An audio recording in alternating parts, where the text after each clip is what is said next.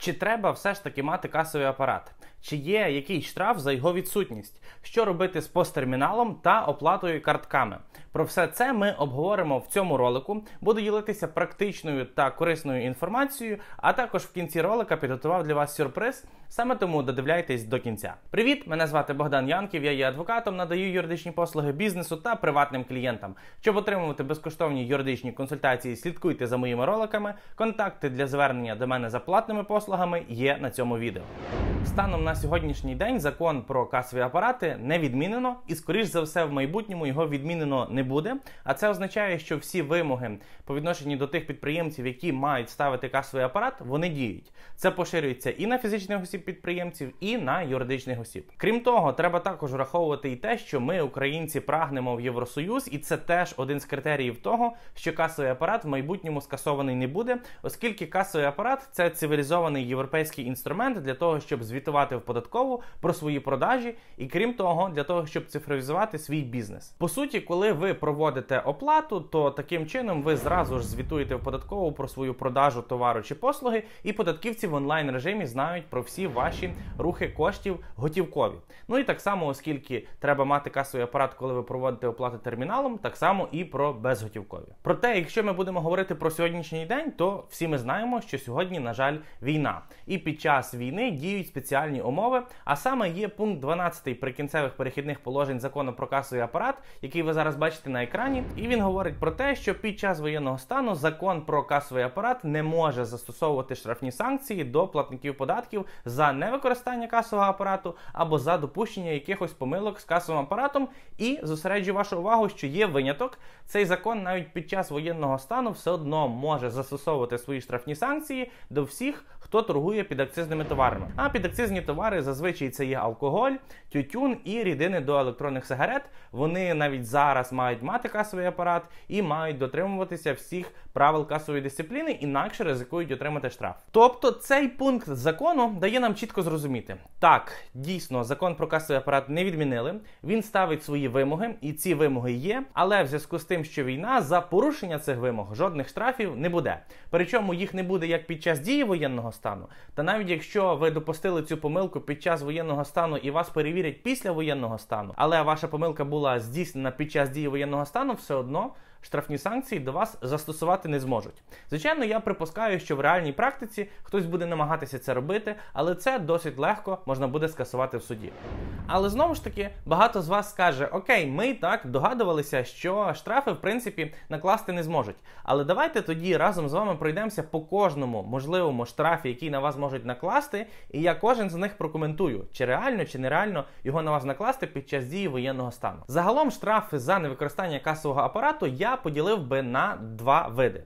По-перше, це штрафи, які передбачені законами, наприклад, Кодексом України про адміністративні правопорушення, і це фінансові штрафи, які передбачені законом про касовий апарат. Перший вид штрафів можуть накласти навіть під час війни. Другий вид штрафів, який передбачений законом про касовий апарат, накласти не можуть. Перший штраф передбачений статтею 155.1 Кодексу України про адміністративні правопорушення. Він накладається за порушення правил розрахунків. Максимальний розмір штрафу по цій статті всього 170 гривень. Крім того, податківці складають протокол і передають далі в суд. Тобто, загалом норма закону досить мертва. На практиці, щоб не перевантажувати суди, цю норму фактично не застосовують. Тому, хоч цей штраф і можуть на вас ймовірно накласти, але він є незначний. Суди ніхто завантажувати не хоче, особливо під час війни. Тому на практиці, скоріш за все, на вас його не накладуть, і його боятися не варто.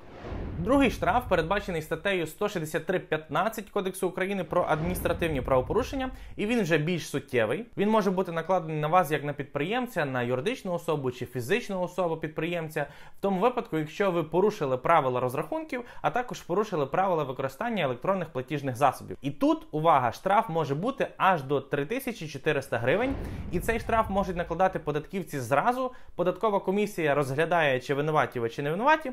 Звичайно, що в суді ви його можете оскаржувати, але це вже треба окремо подавати скаргу на накладений штраф. Тобто, фактично, без суду цей штраф податківці можуть накласти. Цей штраф можуть накласти в двох випадках. Перший випадок, коли ви готівкою прийняли понад 50 тисяч гривень. Понад 50 тисяч гривень від клієнтів можна приймати тільки безготівково або шляхом оплати картою. Другий випадок, коли ви відмовляєте клієнтам в прийомі платежів, коли клієнт хоче заплатити картою. І насправді цього штрафу дуже легко уникнути. Достатньо просто мати термінал, який дозволяє вам приймати оплату картою. Ви і перший, і другий варіант легко уникаєте. Особисто мені досить подобається класне програмне рішення, яке називається Є-чек. Достатньо просто встановити програму на свій смартфон. Не потрібно купувати якийсь окремий термінал чи орендувати якийсь термінал. На своєму смартфоні ви зразу можете використовувати і функції касового апарату, фіскалізувати продажі, якщо вам це потрібно. А так само найголовніше, ви можете генерувати QR-коди, просто давати своїм клієнтам відсканувати цей QR-код, і таким чином клієнт зможе зразу оплачувати картою без додаткових терміналів. Тобто це впровадити досить легко. Ну і так само, якщо ваш телефон має NFC технології, то просто буде достатньо притулити підключити карточку до вашого телефону і прийняти платіж теж без окремого терміналу. Ну і також, звичайно, що компанія eCheck, програмний касовий апарат, має спеціальні окремі термінали, де вже є вбудована програма eCheck, і ви за допомогою цієї програми теж можете приймати платежі, притуливши просто картку до терміналу, і так само використовувати цей як фіскальний касовий апарат. Тобто рішення досить круте, може бути як на вашому смартфоні, так і можна купити окремий термінал. До речі, eCheck продають своє програмне рішення всього за 125 гривень в місяць незалежності від кількості торгових точок, кас чи вибитих чеків. Досить хороша ціна станом на зараз на ринку. Крім того, я написав хлопцям з Ячек і для своїх підписників попросив зробити знижку. А вони мені запропонували дати два місяці безкоштовно використання їхнього продукту. Посилання для того, щоб на два місяці безкоштовно можна було користуватися є-чеком, залишу в описі до відео. Якщо вам цікаво, обов'язково скористайтесь цією можливістю. Тепер давайте рухатися до третього варіанту штрафу. І третій варіант штрафу передбачений статтею 164.4 Кодексу України про адміністративні правопорушення. Суть цього штрафу полягає в тому, якщо ви не здали свій виторг в банк, то вас за це можуть оштрафувати. Але знову ж таки зверну увагу, що виторг в банк зобов'язані здавати тільки юридичні особи.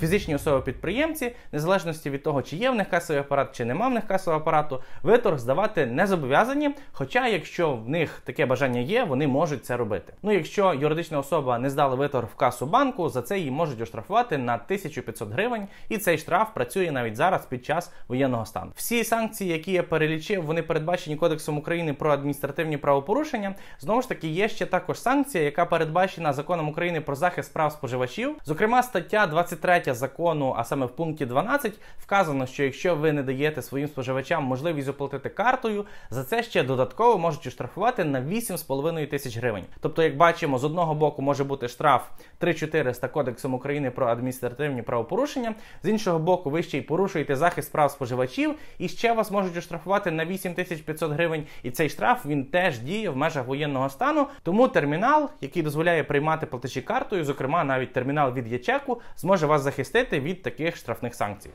Тепер давайте плавно перейдемо до фінансових санкцій, які передбачені законом про касовий апарат, за що вас взагалі можуть оштрафувати під час дії воєнного стану. Зараз на екрані ви бачите всі можливі варіанти штрафів, які передбачені законом про касовий апарат, і жоден з цих штрафів на вас не може бути накладений. Тобто, якщо допущене якесь з цих порушень, то по суті, навіть під час закінчення воєнного стану, якщо ви це порушення вчинили під час дії воєнного стану, вас оштрафувати точно не зможуть. Тобто не видача чеку, видача чеку не на повну суму, невчасне закриття зміни або не закриття зміни взагалі. Це не є підставою для того, щоб вас оштрафувати. Так само, до речі, зверну увагу, що і штраф про первинні документи і продажу товарів без первинних документів, без обліку товарних запасів, він теж передбачений законом про касовий апарат. Цей штраф на вас теж не можуть накласти в зв'язку з тим, що на нього діє оця пільга пункту 12 прикінцевих положень закону України про касовий апарат, що штрафи під час війни не застосовуються.